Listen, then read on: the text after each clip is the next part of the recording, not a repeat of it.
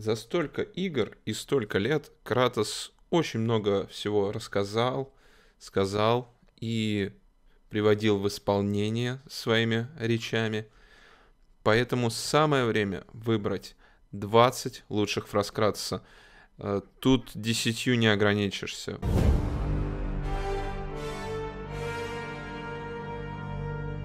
My death will not lead you to Zeus. That Многие вспоминают Гелиоса только за то, что Кратос использует его голову в качестве фонарика. А, но, на мой взгляд, их диалог очень крут тем, что богу солнца реально удается поторговаться со спартанцем и даже иметь наглости врать прямо ему в глаза.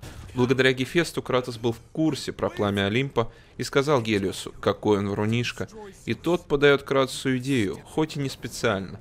Говорит, что его смерть не приведет к Зевсу. После этого Кратос и понимает, очень даже приведет. Взгляд Гелиоса открывает потайные проходы, известные только олимпийцам. В этой фразе чувствуется некая издевка Кратоса. Понимание, что он знает, как перехитрить вроде бы умного бога.